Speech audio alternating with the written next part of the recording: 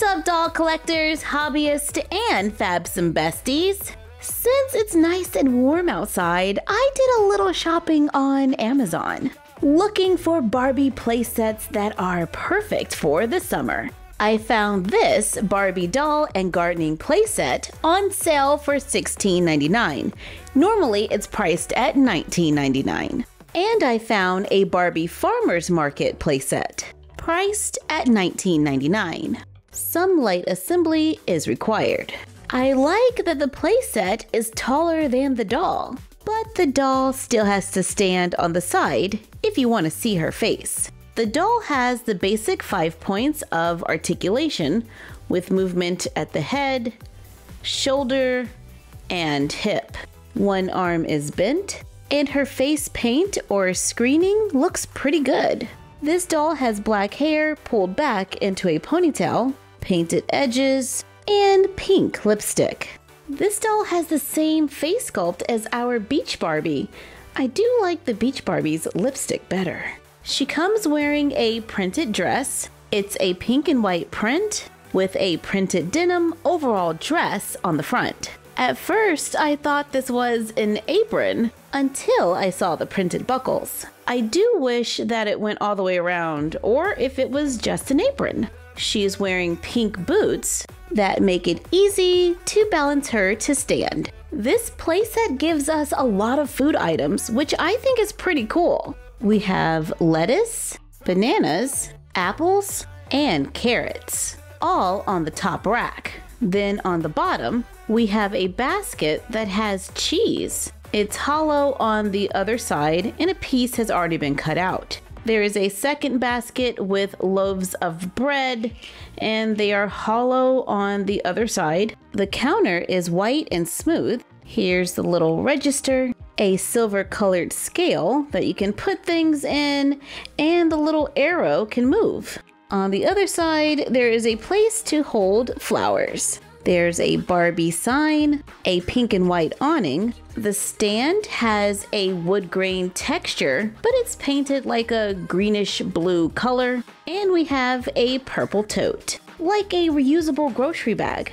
However, I do wish it was made of fabric. And I would have loved to have seen the legs of the stand brown, but that's just me. For the most part, I think this is a pretty decent playset. And we can always use a little bit of paint to add some details, like paint the stems of the flowers green. Yeah, that's better. Let's add a little red to the flowers to just make them pop.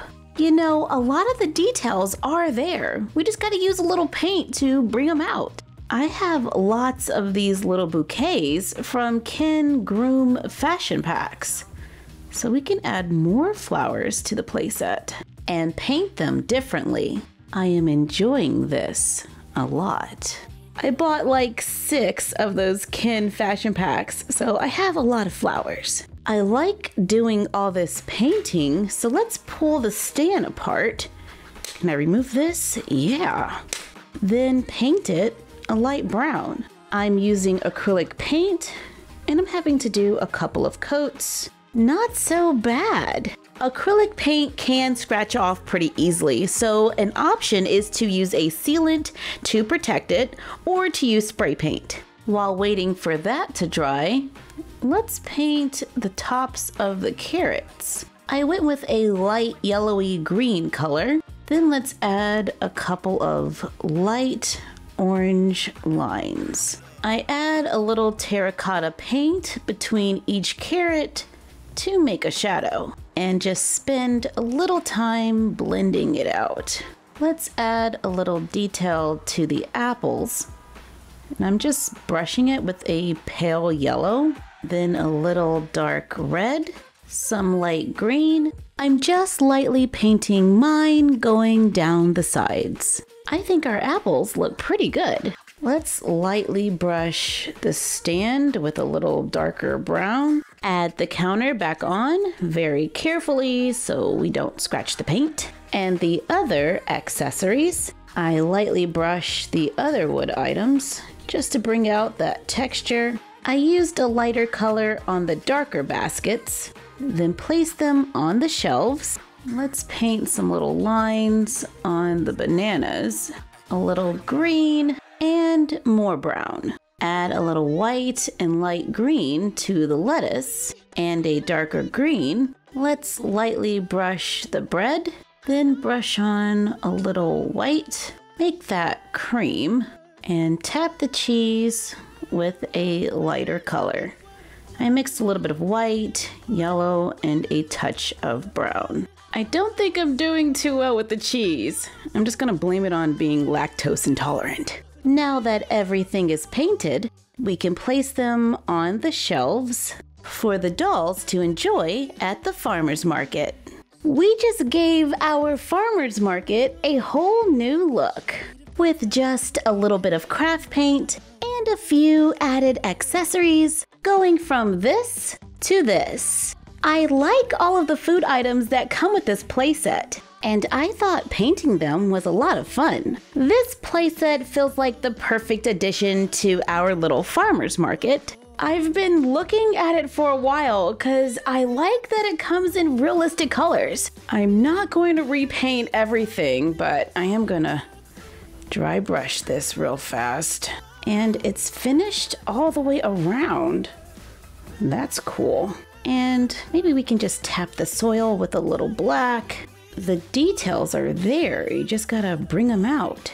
There are even little nails. This playset also comes with lots of fruits and vegetables, like lettuce, carrots with painted tops, strawberries, tomatoes on the vine. I think these are blueberries, and some come with more than one, like the lettuce and the carrots. There are also some gardening tools, a watering can, bag of seeds, a basket, butterfly, hat, and a curvy doll. She has her hair pulled up onto the top of her head, has delicate painted edges, comes wearing a sunflower romper with elastic around the waist and no opening in the back. She wears green boots and has the basic five points of articulation with movement at the head, shoulder, and hip. I'm gonna switch her out for a doll with a little more articulation.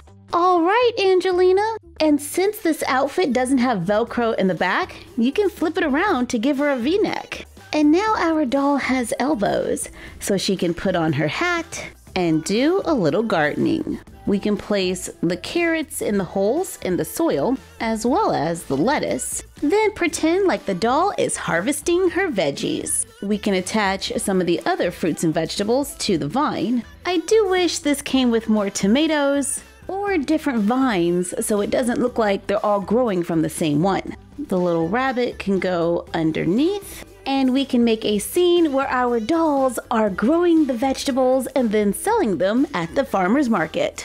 All right then, businesswoman. I buy a lot of Barbie playsets, and a lot of times my complaints are colors or lack of painted details. So, this was a fun project for me because we got to customize some of our accessories. The apples probably took me the longest, but I am absolutely in love with them.